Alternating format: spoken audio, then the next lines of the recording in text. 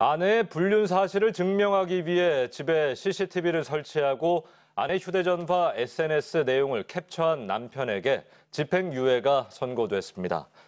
울산지법은 통신비밀보호법 위반 혐의 등으로 재판에 넘겨진 30대 A씨에게 징역 6개월에 집행유예 1년을 선고했습니다.